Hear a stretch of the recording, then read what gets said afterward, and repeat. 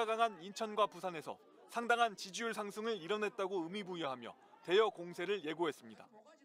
이재명 대표는 선거 민심을 받들어 정권의 퇴행을 막고 국민의 삶을 지키는데 더 앞장서겠다고 SNS에 적었습니다.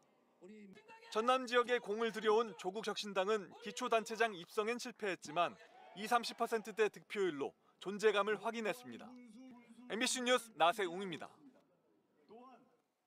서울시 교육감 보궐선거에선 진보 성향의 정근식 후보가 당선되면서 지난 10년간의 진보 교육 기조가 이어지게 됐습니다. 정 후보는 당선 소감으로 고등학교 무상교육 예산을 원상 복귀하고 역사 교육을 바로잡겠다고 했습니다. 윤수환 기자입니다.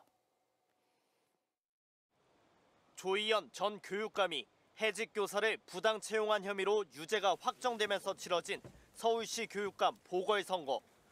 보수 진영이 10년 만에 주요 후보 단일화까지 성공했지만 서울 시민의 선택은 이번에도 진보 성향 교육감이었습니다.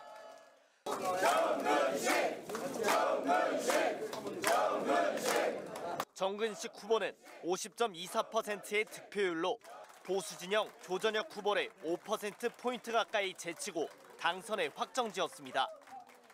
이번 선거는 교육의 미래를 선택하는 중요한 순간이었습니다. 2014